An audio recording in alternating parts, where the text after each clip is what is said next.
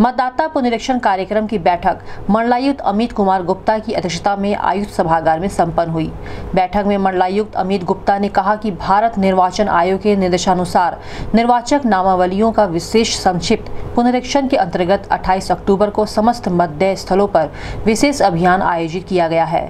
उसने बूथ लेबित अधिकारियों, पर्याप्त मात्रा में फॉर्म छः सात, आठ एवं आठ क लेकर मौजूद रहेंगे।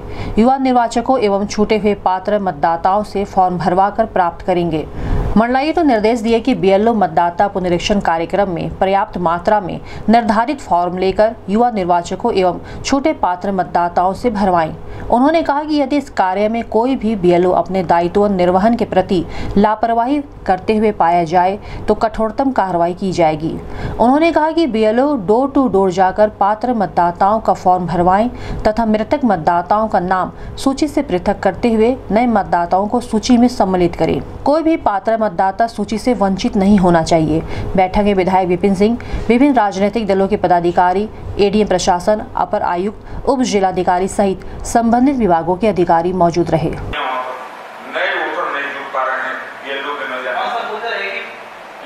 ये बारी गाँव की कहानी। वन सेक्शन है जी।